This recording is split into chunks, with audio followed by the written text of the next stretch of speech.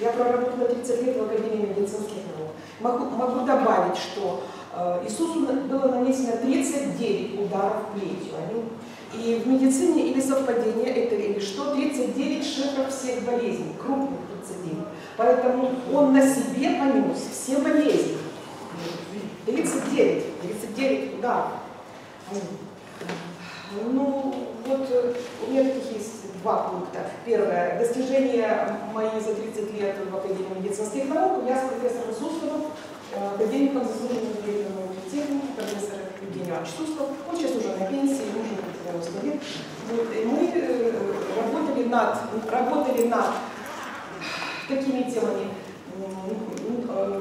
изучения механизма развития рака, туберкулеза и э, усовершенствование имеющихся методов диагностики лечения рака и разработка новых э, лекарственных препаратов для лечения рака и новых методов диагностики рака и диагностики туберкулеза. Ну вот э, из, из того, что я перечислила, мы несколько препаратов разработали, нетоксичных, э, на глюконате кальция, Новая соль, комплексонат леган глюконата кальция, комплексон с кальцием, разные комплексоны с глюконатом кальция. Вот. И почему мы взяли это? Потому что эта соль, она очень хорошо, не токсична для и очень хорошо э, проникает в глубину, в ядро раковой клетки. Там выходит кальций, получается свободный катион ионизированный, и он запускает цепь ферментативных процессов, которые приводят именно к физиологической программе удаления любой, любой раковой или бактериальной клетки. Вот сморщивается раковая клетка, это нормально, апоптоз называется. Сморщивается, э, уплотняется ядро, э, белки, белки цитоплазмы ядра, потом фрагментируются на фрагменты, покрывается оболочкой, визикулы, крошечки, крошечки, крошечки мельчайшие. Вот. И эти крошечки э, токсины не выделяют, размножения нет, интоксикации нет. Ну, это нормально, у нас постоянно происходит. Но у онкобольных эта программа депрессирована, сбит. Нет, не работает иммунитет. А мы запускаем именно вот программу Оптуза через этот препарат.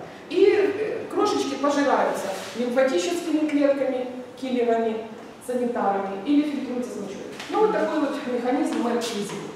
Э, да, значит, э, конечно, вы понимаете, что фармацевтическая мафия, она не даст такому препарату развиться на Украине. Ну, это я 15 лет вместе с профессором Сусловым. Мы делаем эксперименты, лечим мышей с, э, э, с модель рака легкого молочной железы, и мы лечим. Ну вот мой профессор, он уже сейчас, ну, как на даче там сейчас отдыхает, он уже давно не работает там. Ну, это первое. Так что вот есть такой метод. А, диагностика по слюне. Диагностика рака по слюне. Э, не с помощью э, моноклональных антител, тест-системы очень дорогие для онкомаркеров, а просто мы просим человека сдать слюну, набрать утреннюю слюну в шприц, закрыть булочкой колпачком или в заморозку, или сразу нам. И мы смотрим через спектр фотометр. Э, по спектрограммам у нас разработана такая IT-программа, и спектрofотометр, к тому же э, имеет, ну, придается в фотометру, мы еще дополнительно, то есть на одного человека 8 спектрограмм, и компьютерная программа выдает здоровый или мокрый. Ну, это легче, чем. Теперь метод диагностики туберкулеза, тоже надо его еще усовершенствовать, то есть капель крови нам на стекло, мазочек, мы туда капаем один реактив, потом второй, высыхает, и мы смотрим визуально даже, не, не под микроскоп. И видим, есть больной туберкулезом или нет. Мы не клетки смотрим, а именно агрегацию э, иммунных комплексов. Ну, это вот три таких вот крупных. Теперь, значит, по, по поводу, а, по поводу оккультизма, колдовства в медицине. Интересует вас да. оккультизм в медицине? Да? Ну, самое главное, их очень много оккультных методов диагностики, лечения.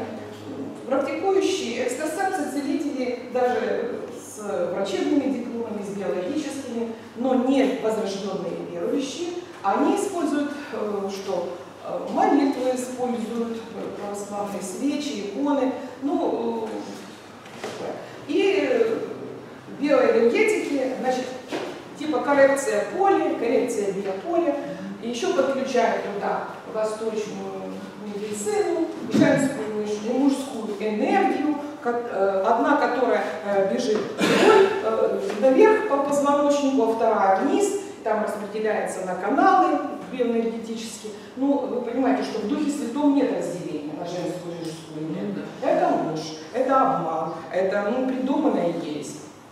Поэтому восточная медицина, инь и янь, не верьте ей, не придерживайтесь. Эти точки, они надуманные, вот эти вот точки, китайские точки, понимаете?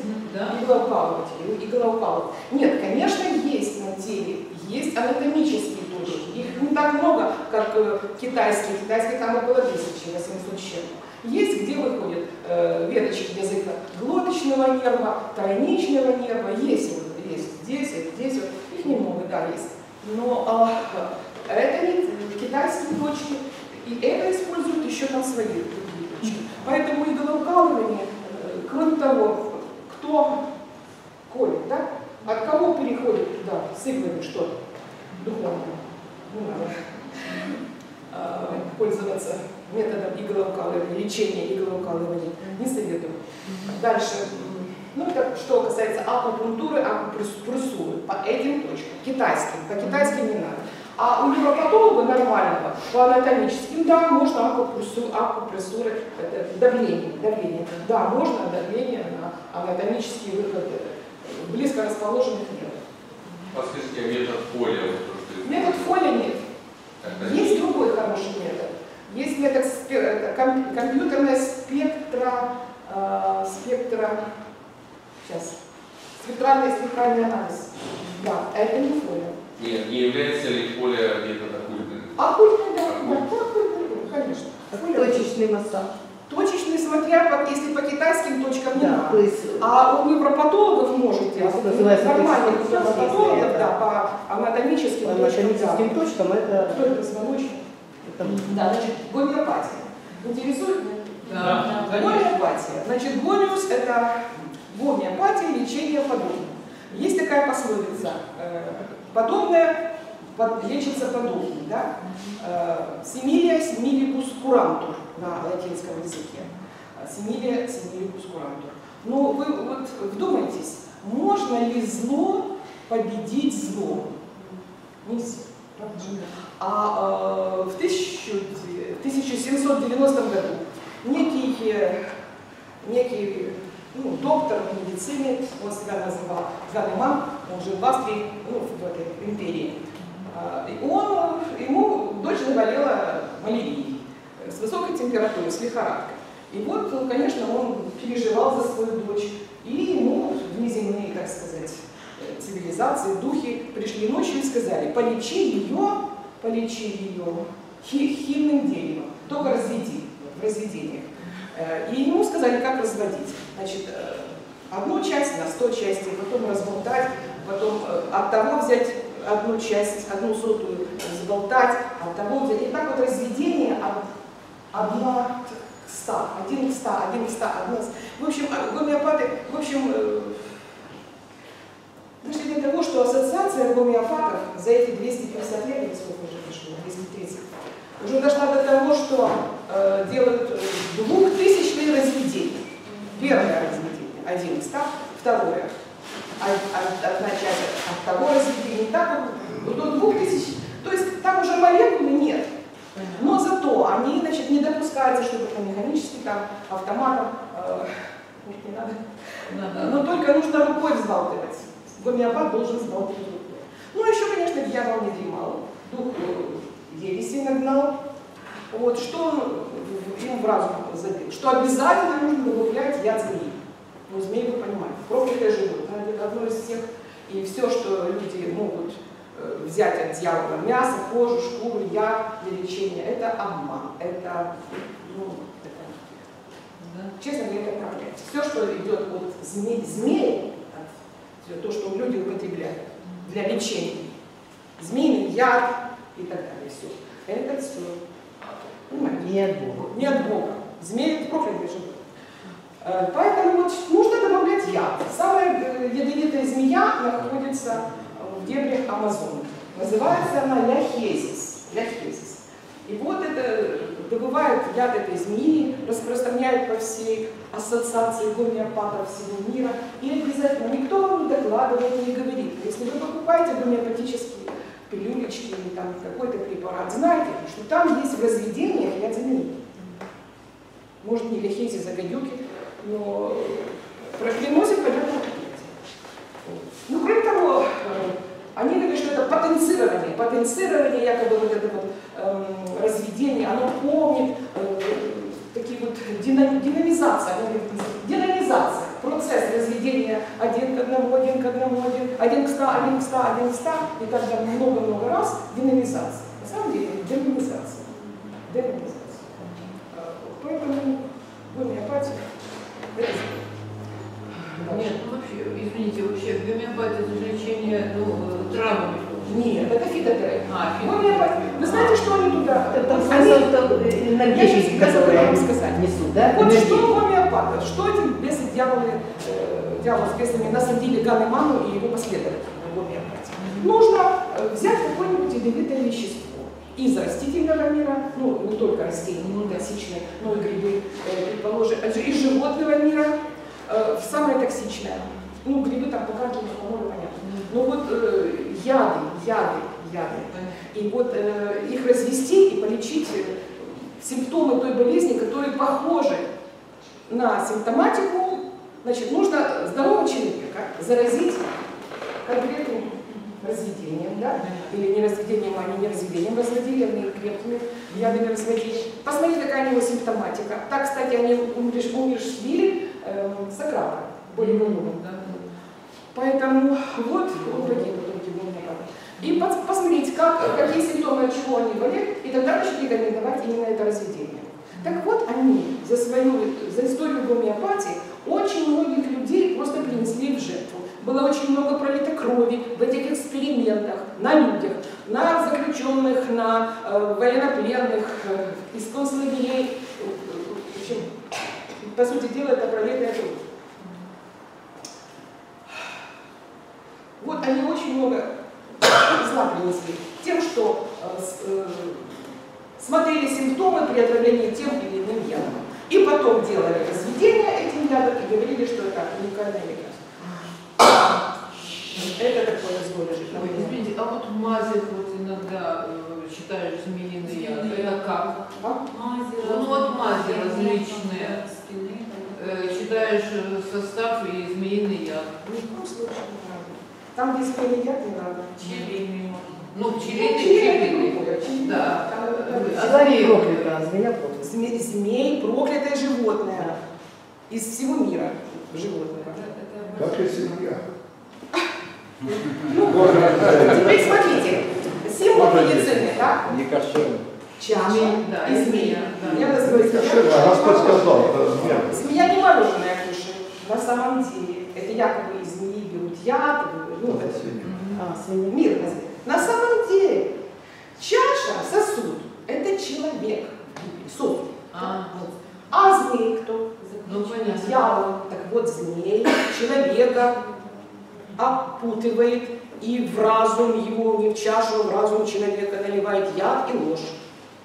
А клятва Гиппократа, что там? Кому поклонение? Ну, если видишь, Он нас не спасал. видит больного, конечно, он должен оставаться в стороне. А можно, можно спросить, э, Гиппократа? неизвестно уже, А? откуда берется рак? Конечно, известно. Вам нарисовать? Значит, у рака есть ноги. Рак приходит, и рак может уйти. И пути у него такие. Первое. Родовые проклятия. Второе. Проклятие, ну, болезни из-за собственных грехов и беззаконий. И третий путь. Нажитенные. Это порча, это колдовство, манипуляции, экстрасенсорика, насылки, сглазы. Поэтому что? Нужно покаяться за себя, за своих предков, а самая длинная линия проклятия это за 10 поколений за блуд и блудодеяние. Сын блудницы не может войти в общество Господне, и десятое поколение он не войдет в общество Господне. А 10 поколений, если сложить, это целая армия. Если мы не покаемся за блуд наших поколений, то и грехи вменяются нам 2046 человек. Ну, мы можем принести достойный плод покаяния. Иисус знает, кто чем э, согрешал, поэтому в сфере, э, в сфере, э, в сфере блуда, в сфере в духовной сфере, или на поклонстве другим э, богам идолам поклонения. Далее, в сфере общественных отношений, семейных отношений и финансовых, материальных. Вот за эти такие вот пять сфер надо принести покаяние и просить Духа Святого, чтобы он напомнил, напомнил нам, нам наши грехи и прегрешения, не всем. Э, Нигде в Библии нет такое, что Бог, Он прощает грехи, не покаяние. Мы должны покаяться, признать, исповедать грех, что он у нас был. Потом принести пока- плод покаяния и тогда по вере принять э, прощение. Потому что мы благодатью спасены, через благодать. Благодатью вы спасены. Далее, значит, по поводу символа медицины. А как, как рак приходит? Значит, рак приходит следующим. Это демон. Сначала э, рак или по наследству демон. Предположим, э, предки болели, да, был те- тесный контакт. Между супругами у одного был рак, у другого нет. Конечно, муж и жена одна плоть. Э, Вот, э, после умершего супруга рак может коснуться и развиться у другого супруга поскольку это одна плоть. Ну, у нас есть рычаги и методы воздействия. Покаяться, запретить, изгнать, выгнать, разрушить, преобразоваться, возродиться и не лишить, и чтобы рак не коснулся нам. Но это первое. Значит, порог, родовой аспект такой, демон порог, аспект порога. Теперь, значит, э, э, за свои грехи беззакония и за навид. Значит, дьявол дает приказы, а если у нас открыты двери, окна, форточки в нашей жизни, то дьявол приказывает украсть душу человека, запускает бесов. И эти демоны, они внедряются в центральную нервную систему. Самое уязвимое, уязвимое место – это ствол головного мозга. Там, где и талямус, гипоталямус, гипофиз, в центре головного мозга. Там есть рычаги управления всеми органами и системами. Сосудодвигательные, э, дыхательные нервы, мышечные, генитальные, половое, все так. Вот, иммунная система, все вот там сосредоточено. Ну и что там они вносят хаос, они спутывают эти рефлексы, спутывают, э, там есть нодули такие вот, ну, центры, центры управления головой. Вот в этом стволе головного мозга. И там ну, вот эти бесы, они на дух рака, дух смерти, немощи, болезни, блуда, в общем, всякие там воровства, мошенничества и так далее. Вот они именно вот в центральной нервной системе делают нарушения. И потом уже рак проявляется в виде физической опухоли где-то, груди, ну где угодно, в печени. Тогда уже э, врачи, врачи, они тогда видят на МРТ, на УЗИ, на рентгене, когда видят и лечат именно это. Но никто же не знает, что нужно сначала э, человека покаять в любви Божьей, явить Иисуса Христа, донести истину о том, что Иисус нас э, освободил, Иисус нас принял, исцелил уже, мы уже были исцелены, уже э, совершенное действие, все совершилось на Голгофе на кресте. И поставить точку, и э, вот, донести любви это людям, чтобы они отвлеклись от идолов своих, от идолопоклонства, от обид. Самое непрощение очень большое имеет значение. Не прощение, а обиды, э, всякое зло. Спасибо. Пробачте, сестра, а ви до миття находите, так? Ні. Учення похоже. А, насчет родового проклятия, да? Мне тоже показалось. Вот, приветствую, Геннадий, приветствую. Слава, спасибо. Благодарим за ответы на молитвы Спасибо. о исцелении от рака, даже таким Аминь. путем и слава Богу. Аминь, аминь. Да, Да. Бог, Бог дал им это откровение. Да. Да. Понимаете? Вас- Истина такое о зло, как рак, Лечится. Я свидетель, это моя подруга, Да. я свидетель, что много уже исцеленных людей, они просто не могут зарегистрировать Минздраве пока, вот мы понимаем почему, молимся за это. Но это Бог, Бог дал. Да, слава Богу, да. И я как раз, пока слушал сестру, вспомнил, э, значит, Джоэл Остин рассказывал, интересно очень даже пример как приводил. Он сам в Техасе, да, где пастором был его отец, когда давно еще. Вот. Кому не хватило еще?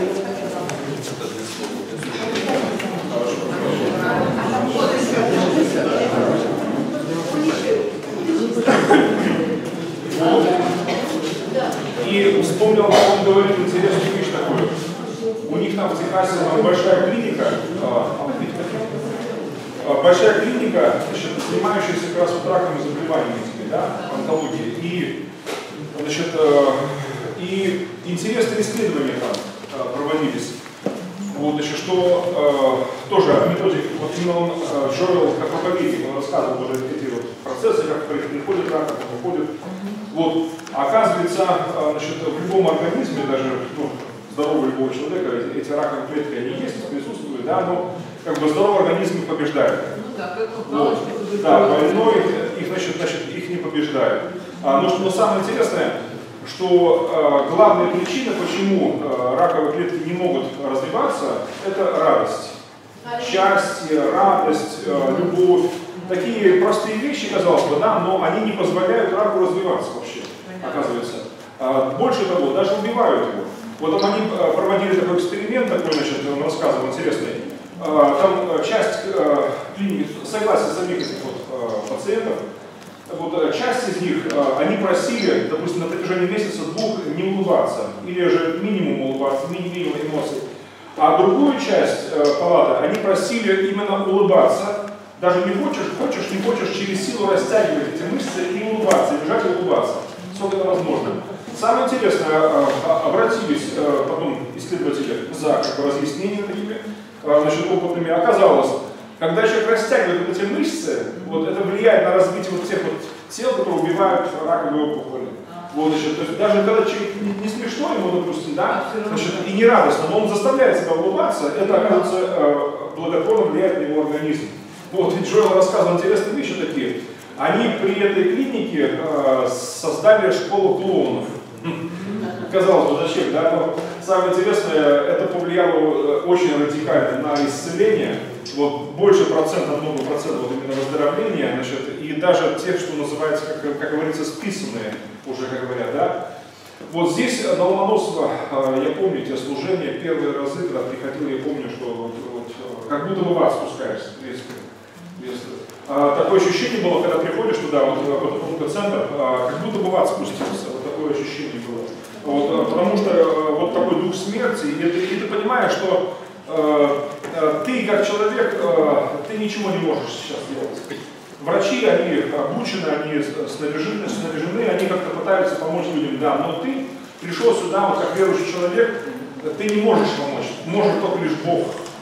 И действительно ты понимаешь, что только лишь в нем, пребывая в Боге, да, и являя Бога живого этим людям, действительно ты увидишь это чудо. Поначалу приходишь, и было очень тяжело, особенно детское отделение было очень тяжело для меня, честно говоря.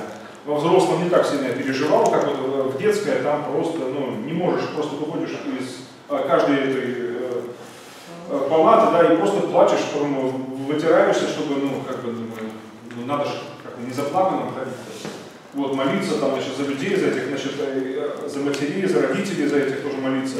Вот, и, э, и на самом деле, потом э, свидетельство, когда уже, уже когда проходит, не знаю, там, прошел месяц, два, там, не помню, начались первые вот эти свидетельства об исцелении, э, притом людей, которые уже были, ну, вот, нас вначале пускали в то крыло, где, там, как говорят, списанные были, да, вот, вот, э, и там девушки, допустим, были там совершенно лысые, такие после всех этих химий, всяких там прочее, и э, ум- умирающие.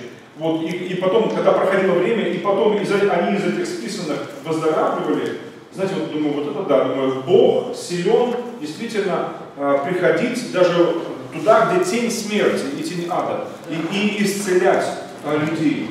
Э, и поэтому преображение, да, вот о чем мы сегодня говорили, это не только для нас, даже это для тех, кто вокруг нас. Потому что Бог хочет не только нас преображать, наши жизни, как верующих людей, да, но и через нас судьбы других людей вокруг нас менять. Это потрясающее событие, это потрясающее, это всегда восхитительно, удивительно и очень приятно. Слава Богу. Да, пожалуйста, да. Ну да, Я слово скажу, потому що як сказати, не можу, не можу мовчати. Да. Нужно виходити у свободі. Свободі у Христі. Е, Я не сумніваюсь, що, що сестра Таня великий вчений, і тут, тут не, не, не в її лічності, тут віроученні. Віроученні. Е, Ми каємося. не каємося. Приходимо, приходимо до Бога. Е, ще остались у нас там які-то які гріхи, грішки і так далі, Бог нас преображає і так далі. і так далі. Ми починаємо узнавати Ісуса Христа. Помните, Марка, 3 глава, там написано, що вийшов сіяч, сіяч, сіяч. І він почав сіяти, і одне виросло так, друге так, третє 30, 60 і 100 крат. Молитва сама, сама молитва, е, це як вода. Якщо не посіяно у твоє здоров'я сім'я, так молись, Боже, ісцели мене, ісцели. Нічого не проросте. Надо спочатку, береш. Як робить віра? Я по по. Як працює віра? Ти береш. 1 Петра 2,24, якщо в тебе проблеми. Ранами Ісуса Христа я зцілений. Від гріхи мої, сам возніс тілом своїм на древо, даби я, відбавившись від гріхів, жив для правди. Ранами Ісуса Христа я зцілений. Ранами Ісуса. Я це повторяю. Все буде хорошо, це не Слово Боже. Ранами Ісуса Христа є зцілений, це Слово Боже. Воно входить і робить свою роботу. І потім я кажу, Боже, ісцели мене. Боже, ісцели мене. І от коли е, говорять, що багато з вас не- неправильно причащаються і багато хворіють і помирають. Чому? Чому це? Тому що ми не прийняли зцілення, ми прийняли тільки спасіння, а ми не прийняли повноти. Ми не прийняли зцілення і через те хворіємо і, і, е, і потім помираємо. Тільки Слово Боже. Місце писання, не буду Ну там же шукати. не покушать собираются, просто превращают щи в трачу. Да, да. Хорошо, брат. Е, Місце писання. Потім, потім всі, всі те саме я скажу. Не, якщо що, не побийте мене камнями,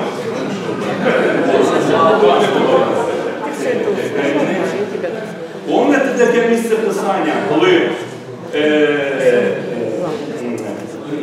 написано, оце я вам про прокляття, навіть вам і прошу, які я помню, хто там у шостому поколінні, хто-то у мене згрішив. І що я должен там каятися і не каятися, і так далі, і так далі. От.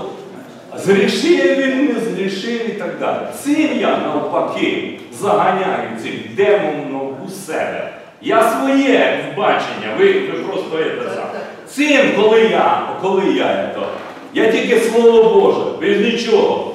Написано, батьки ваші їли кислий виноград, а у дітей коскомина. Що таке кислий виноград? Кисло, оце, оце, це кислий виноград. І от коли Господь висів на хресті і йому дали, дали, настромили на, ето, на, і дали оце попробувати. Деякі говорять, це обезбаліще, там, яке обезбаліще, його все, розірване все, плоть, все, розірване, це не, обез, це не обезбаліще.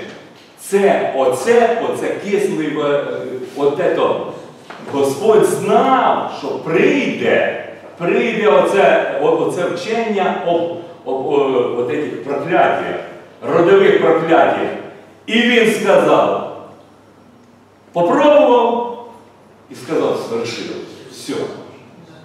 І коли ми, я лічно для себе, ви як хочете, коли ми говоримо, що там прокляття, то що, ми кажемо, що Ісус, ти, ти несовершенно зробив роботу. От ми ще що-то доробимо і так далі. І. Все береться вірою. І я беру, беру вірою із духовного світу, що ранами Ісуса Христа є зцілений. Да і амінь. І не собираюсь говорити.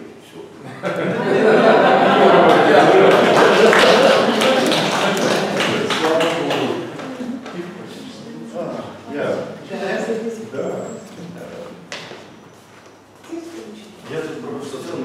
Да.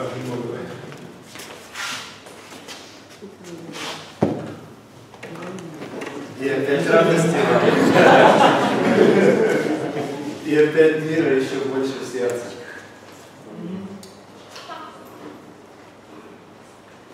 Реально я люблю теологию.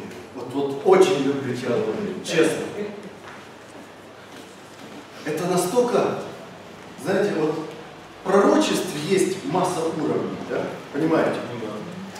То есть так крути, так крути, так крути, так крути, так крути. То, что сделал Илья, Елисей и так далее, применимо сейчас и к церкви, применимо сейчас и к нашей внутренней, ну понимаете, да? И точно так же исход из рабства, то есть оно и, и наставление для жизни обычной, и путь внутренней души нашей, и формирование церкви как таковое. И реально Бог многогранный. И каждая грань, преломляясь, да, показывает его еще больше, еще больше, еще больше. Каждый уровень э, не возьми, мы там увидим все равно его совершенство и порядок. Ну, банально просто, да?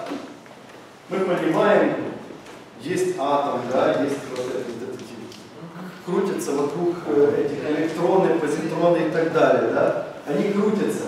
Много-много-много атомов, да, складываются в какую-то в молекулу, да, молекула складывается в что-то там непонятно, ну, в какой-то материал, да, структурируется там или камень, или кусок кожи, или, ну, клеточку, вообще, то есть, понимаете, да, потом дальше, дальше, дальше, дальше получается вот, да, душа живая, вот, тело душой, живой, живой души. Правильно? Физическое проявление души живой. Из маленьких молекул, которые, этих атомов, да, вокруг, и это все у меня тут миллиарды таких, таких же, которые крутятся вокруг. Вот, да? И стульчик такой же. Такой же, да. Понимаете, да? Теперь смотрите, мы тут маленькие козявочки, да? На планете Земля, правда, в Украине, в Киеве, на планете Земля, которая маленькая такая козявочка крутится вокруг солнышка. И еще там парочку таких же. Правда? Потом дальше оно как бы все больше, больше, больше. Галактика получается Млечный Путь. И этот огромный Млечный Путь, у которого миллионы таких же солнечных систем, и всех этих все это крутится, формирует какую-то такую непонятную светящуюся сгусточек, да? А потом еще, еще, еще мы не знаем, что дальше на самом деле, да? И написано, что это все в Боге, то есть весь мир со- со- созданный им, да, для Него, и все через Него, и в Нем. И тут же написано точно так же, что вся полнота божества, весь Бог в нас. И тут уже повод, да, так шариков за ролики чуть-чуть. Сложно, да. Вот. И можно одну часть описывать, понимаете, этого, да? И выводить какие-то доводы, да, теологию строить на какой-то частной ситуации, да? Потом другую какую-то, третью. Я смотрю историю церкви, знаете, вот реально, да? После Иисуса началось так немножко философствование и теологический процесс формирования догм, всего остального. Это здравый процесс. В принципе, каждый ребенок для себя какие-то, это проходит, да, какие-то обозначения. Он учится. Это зеленый, это серый, а папа на работу ходит и так далее. Но потом он начинает, то есть и, э, приходит, есть время даже ребенка, когда он начинает, нет, папа на работу пошел. Он всегда ходит на работу. Да, да нет, сегодня выходной, папа в церковь пошел. Вот. Оказывается, какое-то что-то вышло из, из ряда ну, его там понимания, да, понимания. Но каждый раз, когда мы выходим за рамки какого-то понимания, мы взрослеем, и у нас понимание меняется. И мы понимаем, что раньше это был весь мир, теперь частный случай. Раньше это было такое огромненькое, да, а теперь, ну да, я понимаю суть, понимаете, да? То есть я ребенку говорю, э, не лезь в ну, розетку, ну, моему, моей дочери, ей три года, да, нельзя в розетку, но моему сыну, которому пять лет, говорю, включи мне свет. И я противоречу себе. Понимаете? Оказывается.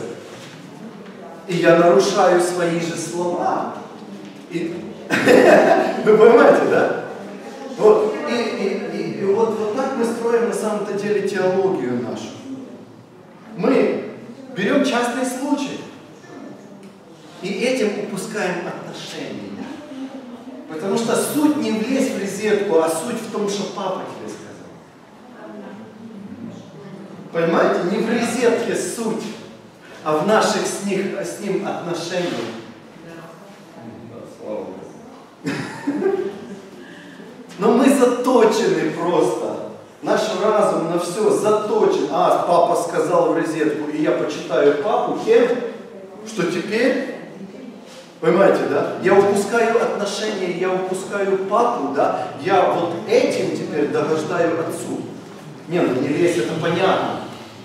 То есть, понимаете, мне надо плевать на слова. Я не об этом говорю, но есть что-то большее.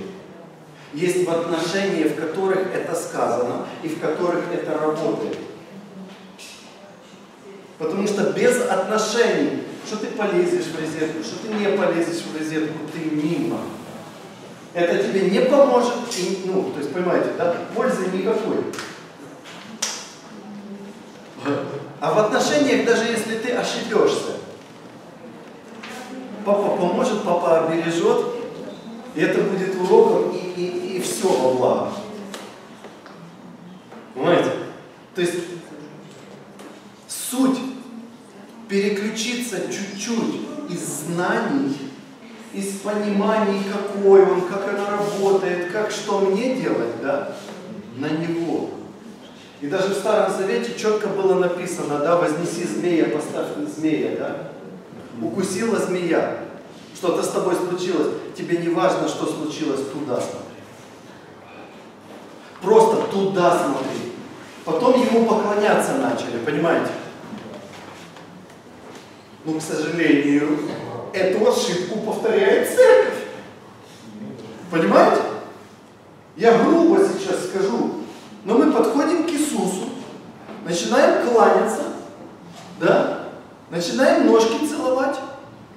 И вот у, ворот рая, вместо того, чтобы войти, он, он не говорит мне поклоняться, он говорит «Ко- через меня к Отцу идти и ему, ему поклоняться.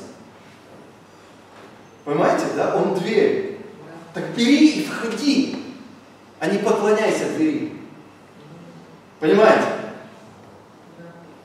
И суть на самом-то деле всего вот в этой близости, в этих отношениях, в, этих, в, этом, в этом контакте с Отцом, который нам подарил Иисус. В нем все. Понимаете? И тут, а тут а наш переход и преображение от того, что у меня есть жена, у меня есть дети, у меня есть знания, у меня есть понимание, даже теология, свои какие-то принципы жизни, они хорошие. Они помогают мне жить. Только именно, а Иисус не хочет, чтобы ты жил. Он хочет тебя абсолютно преобразить и жить тобой. И твои принципы теперь раньше тебе помогали, а теперь они могут даже мешать тебе твоим отношениям. Потому что ты ставишь э, слово да, Бога выше самого Бога. Да, написано, и он поставил слово свое выше. Да? Ну, Написано, вначале было слово, и слово было. Смотри. Бог превознес Да. слово выше имени. да, Имени своего. выше имени. Да. Слово, да, так написано. Да. Но что такое слово или кто такое слово, вы понимаете?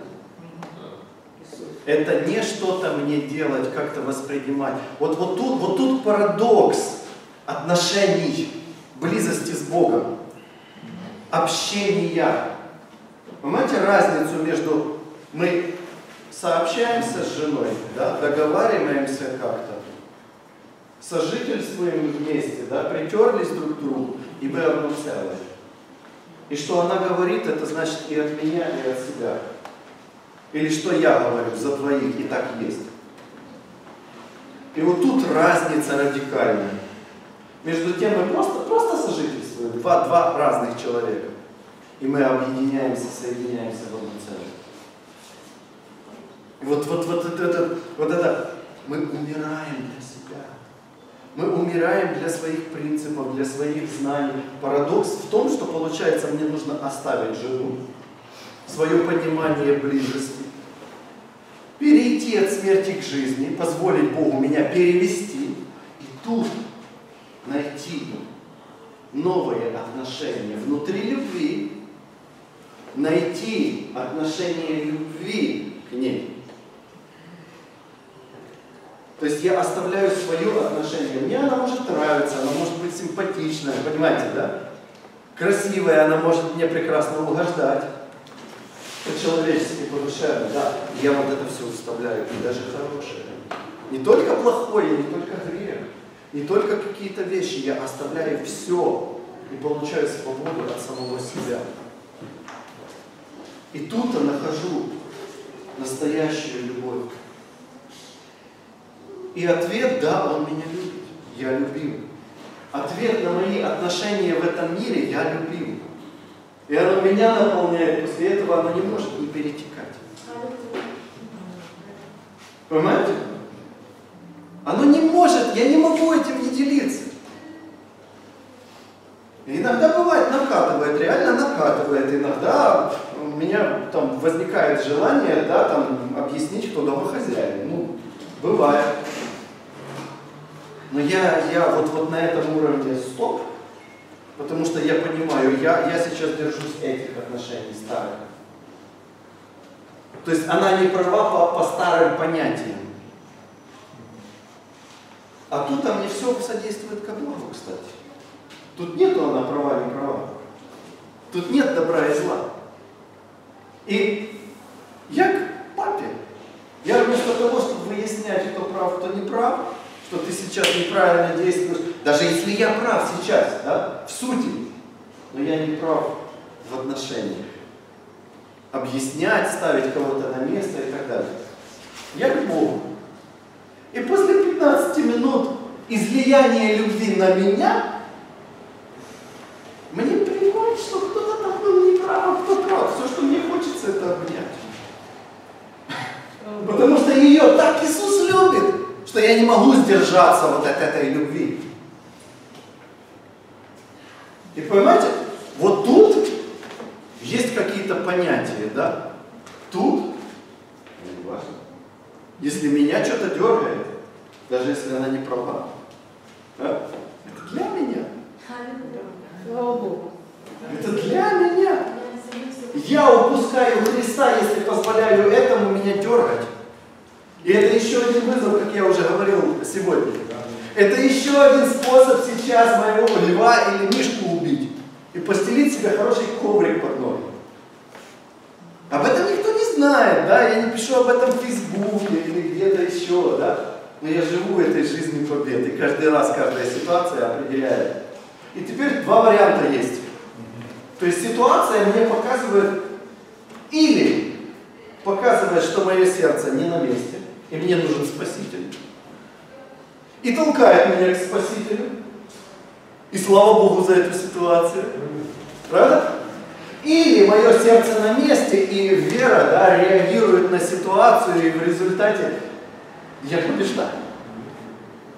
То есть или это показывает, что мое сердце сейчас нуждается в Спасителе, или эта ситуация достается мне на съедение. Как говорил Халев Иисус на и все нормально, понимаете? И вот, вот, вот эта победоносная жизнь начинается. Просто-напросто. И, родные, вот, вот посмотрите каждый. У каждого проблемы, правда? Родные, я такой же, поверьте. Понимаете? Я такой же, у меня, у меня такие же проблемы, да, у меня там дети так, то же самое могут ночами не спать, то же самое могут заболеть, понимаете? Я, я не, не обезопасен от этих внешних вещей. У меня ребенок может родиться мертвым. Понимаете, да? Может э, смертельное что-то случиться. Я могу быть без денег. Я такой же. Меня там могут приезжать бить, понимаете, братки, потому что проповедую. Я, я об этом, понимаете, Иисус не, не, не защищает меня. Да, я скажу, ничего меня не трогает, аллилуйя. Да, родные, ничего меня не трогает, но это не значит, что ничего не случается. Случаются со мной такие же вещи, как и с вами, одинаково. Только вот посреди этого я радуюсь и, и пою аллилуйя. Понимаете? Кто-то, ой, у меня проблема, а кто-то, ха, у меня Бог. Понимаете? И это не наиграно, вот в чем прикол. Это не, как бы, знаете, ну, это не искусственно.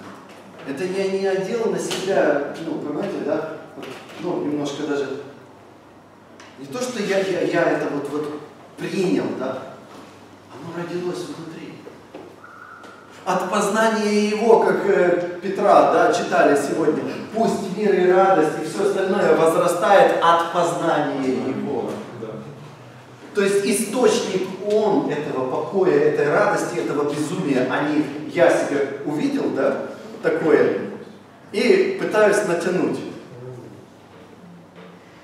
Давайте я вам историю классную расскажу.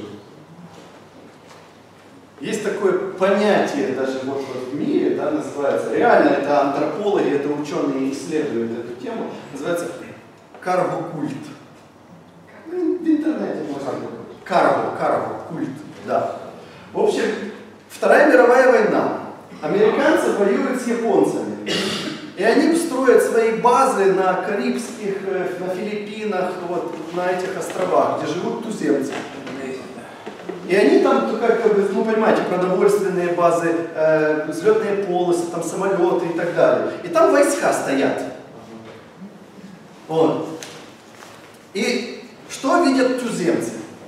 И, конечно же, войсками, то есть провизию, все-все, то есть, ну, армия, да, э, поставляет, помогает, и они это для цели, они воюют с, с Японией. Вот. А давайте посмотрим на эту ситуацию со стороны, да, туземцев. Высадились, вроде люди, да, такие же, как мы, что-то начинают делать. Каждое утро они там поют гимн, муштруют, ходят строем, да, зажигают огни. И с неба прилетает какой-то, да, ну, а, да, птица железная, и да, приносит им вещи, которые они не зарабатывают, не, э, да, ну, не выращивают, не строят. Им с неба, да, или там самолетом, или парашютами скидают просто на огонь. Те вещи, с которыми тузи- ну, они делятся и с туземцами, ну, и как бы, да, туземцы не прочь там огненную воду, да, или ну, что-то еще. Вот, за какие-то там свои моменты. И со стороны туземца они тут пашут, они выращивают что-то. Это хватает им на базовые потребности, но это они до этого доработаться не могут. То есть туземцы не знают да, суть э, войны, туземцы не знают армии, туземцы вообще не знают Америки, да, и как там экономика работает, что эти финансы идут, и оно строится, и, и хватает да, на, на войну, что эти солдаты зарабатывают там. Нет, они не видят этого всего, они видят, они действуют какие-то, да, принимают, ну, понимаете, да, какие-то действия исполняют, солдаты, и в результате им с неба боги дают. В результате туземцы, ну, Вторая мировая война окончилась, американцы свернулись, уехали, а туземцы же научились. Они начинают вырубывать лес, прокладать полосы, ставить факелы, зажигать огни, писать вот тут вот USA, да, понимаете, да? С палочками ходить вот так вот в строе, строить э, деревянные самолетики и ждать с неба подачки. У них появляются как бы, как это правильно сказать, да, священники уже, жрецы, да, жрецы, которые даже ругают за неисполнение этого, этой святой, как бы, ну, Ритуал. да, действий. И они ждут.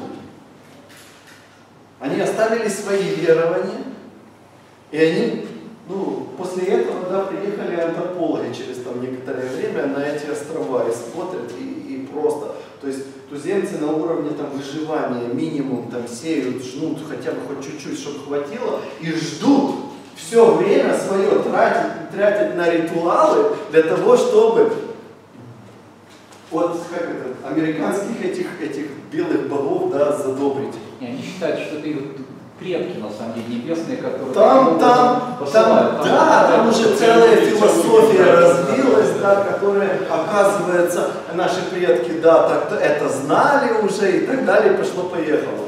Вот. Но антропологи ужаснулись на самом-то деле, потому что они нам, ну, нам, вот минимум выживания, да, были. И они им помогли. И аллилуйя, боги ответили. Они вообще работать перестали. Они еще больше в свои ритуалы кинулись. И, ну, на самом-то деле это смешно со стороны, понимаете? Оно не смешно изнутри. И очень часто вот это вот это даже понятие карго-культ как бы ввелось, его реально исследуют. Потому что просто с нуля, понимаете, без...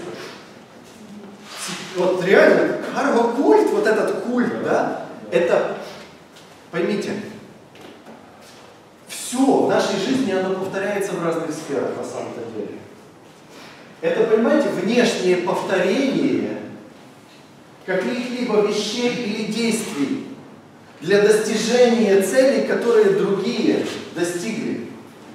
Понимаете? Она популярная девочка, она там фоткается в Инстаграме, а мне нужен такой же iPhone, чтобы быть популярной. Понимаете, да? Это тот же культ. Он бизнесмен, у него хорошая машина, да, у него офис, у него секретарка. А, значит, чтобы достичь успеха в бизнесе, мне нужна хорошая машина, мне нужен офис, мне нужна секретарка. Ну да, атрибуты несут. Внешнее повторение внешних атрибутов для люди думают на самом-то деле, это, это глубоко в нас проникло на самом-то деле. Это корень, вот этот, вот, вот, который тянется еще тысячелетиями от Адама. Знаете? И мы повторяем за другими, мы видим от Каина и Авеля, помните, да? Тоже. Понимаете? У одного внутренняя суть, у другого внешнее действие. Понимаете, да? И вот таких вещей очень-очень много. Тот помазанник, он, много постится, много молится, мы повторяем. Мы не понимаем сути, да, но мы просто дальше повторяем. Мы не знаем внутренней вот этой составляющей, да, отношений всего, но мы повторяем внешние действия, думая добиться каких-то результатов. Но на самом-то деле эта картина очень печальная. Потому что как только у нас начинает получаться, мы еще больше уходим в сторону. Понимаете? И вот так очень много падений, разочарований во всем, особенно в вере, что касается веры. Что касается вот, вот отношений с Иисусом и всего остального. Мы видение начинаем видеть. Мы чувствовать, мы слышать, да, Бога начинаем. Еще много вещей. И очень часто здравости на самом-то деле и понимания мы не, не, не имеем. Понимаете? Мы на уровне вот этих детей. Не суть палец в розетку, да, не трогай розетку, а другому говорит, можно трогать розетку. И они между собой ругаются, бьют морды друг. Потому что мне папа сказал так, мне папа сказал так. Понимаете, вот и крестовые походы там и так далее, убийства неверных на этой почве. Вот. Но, а что если? Мы немножко оставим свои вот здесь понимание и внешние эти атрибуты, все, все эти моменты. А действительно доверимся. Будем познавать, открывать. И вот радикально переключимся, чтобы мерилом правильного пути, как Иисус четко сказал, да, вы исследуете Писание, потому что хотите найти там спасение, а оно свидетельствует обо мне. Но вы ко мне не хотите прийти, вы дальше в Писаниях ищете спасение, а спасение говорит о нем. его откидаем, дальше э, ищем спасение. Там написано о нем. Мы опять его откидаем, потому что ну как там, и дальше вкапываемся, да, вместо того, чтобы услышать, увидеть, что это все о нем и прийти к нему. Он как раз говорит, исследуйте Писание. Ибо вы думаете через них, исследуйте, вникайте, да, Да. не отходите от Писания, а вникайте. да. Тогда Это, не, не, подождите, подождите. Четко написано, да, вы исследуете. Если взять 10 разных переводов, да, вот посмотреть, просто. 8 из 10 синодальный говорит типа исследуйте. Да? Но написано, вы исследуете Писания, Он не думая. заблуждаетесь, не зная Писания. Да. Да, конечно, потому что, потому что смотрят на букву, а не на суть. То есть, понимаете, знание есть о Боге, о пути спасения, как что Бог хочет спасти. Но не понимая, да, э, выбирают свой путь, тем самым ста- ставя себя во вражду с Богом. Не, ну из зависти написано, брат. Из- Они из зависти его не хотели. Ну, зависти. Конечно. Они знали. Не, ну, тут я не буду в их сердцах копаться. Павел я- писал всегда Тимофею, пребывай в учении, в том, что тебя настояли. На то время даже и Нового Завета не было. Он говорит, в Торе пребывай, там вся корни, там вся жизнь, там вся суть, там обо мне. А. Евангелие это уже духовная составная Торы, вытяжка самая духовная. И через Иисуса нам досталось. Смотрите, в чем, в чем вообще суть? Вот как сегодня, да, читалось, вот это пророческое, верное пророческое слово, да, и пользуйтесь им, пока в ваших душах не взойдет утренняя звезда. Суть в чем?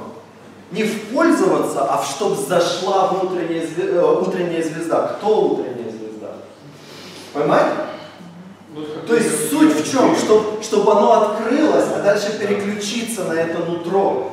И Иоанн говорит, не имеете нужды, чтобы кто-то у вас учил, если оно открылось, да, и тот же, э, в том же написано, что если вот это у вас есть, вы не пропадете, вы правильным путем идете. И тот же Ишуа говорил, если я буду пребывать в вас, а вы во мне, а как он в нас может пребывать? Через познание слова. Если мы это слово не знаем, он не будет в нас пребывать. Что может Дух Святой напомнить нам? Вам напомнит Дух Святой, а у тебя нет тут слова. Ты пустой. Ты как вот тот сосуд, который змея в капает. Как он говорит? Треба було спочатку віри. Потому что он пребывает в нас через слово свое, через Тору. Ні-ні-ні. Да? Просто вопрос, кто есть слово? Понимаете? То есть это указательно слово. Но слово это личность. И отношение с личностью, вот, вот тут как раз, понимаете, да, между э, сказанным словом не, не сунь в розетку, да, и между отношением личностью, кто это сказал. И вот, вот, вот эти отношения, да, тут все говорится, вся Библия об отношениях. Вся Библия просто, просто кричит, открой, войди через Иисуса.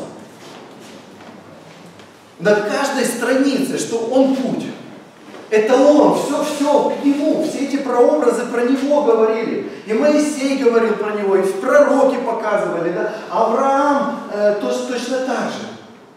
Все это велось к Нему, и весь мир для Него начал быть. Понимаете? Ради Него все. Ради того, кто захотел жить в нас. Ради того, кто нас назвал своим храмом. Ради того, ему, где он может жить, что он в, руко- в каких рукотворных храмах ты мне построил.